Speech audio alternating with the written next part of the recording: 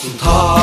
กว้างไกลภูเขาสูงใหญ่เทียมฟ้า สัตว์ใจน้อยอาศัยพึ่งพาในป่าในเขาอันอุดมสมบูรณ์ไปต้นน้ำสายทาราใหญ่รอเลี้ยงพืชไผ่ทุกชีวิตอยู่พื้นป่าเขียวนั้นยังเจิดชูว่าที่นี่คือบ้านของเรา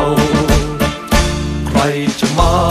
รุกรานฟาดฟันทำลายป่าไม้ชีวิตนี้ข้าพร้อมเพียงายจะสู้ถวายปกป้องป่าไทย จะรักษาไม่ให้กำกลายจะเกิดอะไรเราเฝ้าคุ้มกัน แม้อนาคตเราไม่อยู่คงเหลือป่าดงดำรงสืบไป คือนักรบคุ้มครองป่าเขา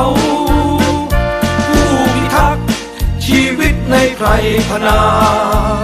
คือป่านิทานของเราชาวนา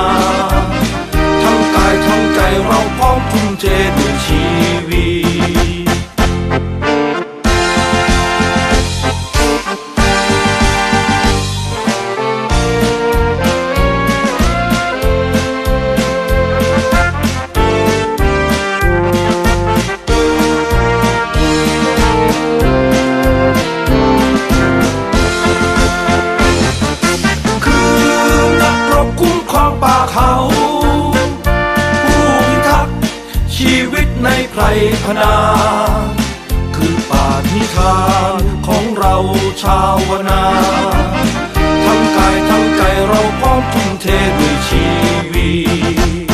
ทั้งกายทั้งใจเราพร้อมทุ่มเทด้วยชี